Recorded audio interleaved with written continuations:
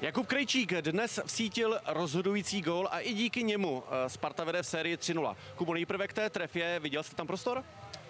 No tak a jsem to tahal po té modrý a snažil jsem se počkat a, na- vlastně až ten první hráč a, mi trošku přejede a viděl jsem tam lineu na bránu, tak jsem to tam zkusil prostřelit a musím, musím poděkovat klukům, co tam stáli před tou bránou, že a, bez toho by to tam nepadlo. Co jste si říkali před prodloužením, protože vy jste do něj šli v psychické nevýhodě vzhledem ke srovnání Třince. A, tak a, psychický nevýhodě si nemyslím, a, už, už jsme na to zvyklí, takže, a, takže moc, ví, moc dobře víme, a, do čeho jsme šli, takže jsme si řekli jako vždy, a, že budeme hrát to, co potřebujeme, ten náš styl a, a zase to mělo úspěch. Jsou ty zápasy podobně těžké, ať se hraje na Spartě nebo v Třinci?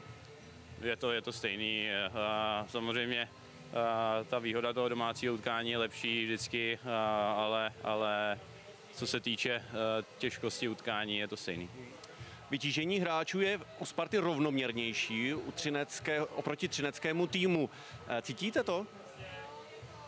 A, tak a, budu mluvit jenom za náš tým, a, takže, takže a, snažíme, se, snažíme se to tam rozmělnit mezi všechny a, a věřím, že, věřím, že je to taky jeden z těch a, klíčů k úspěchu.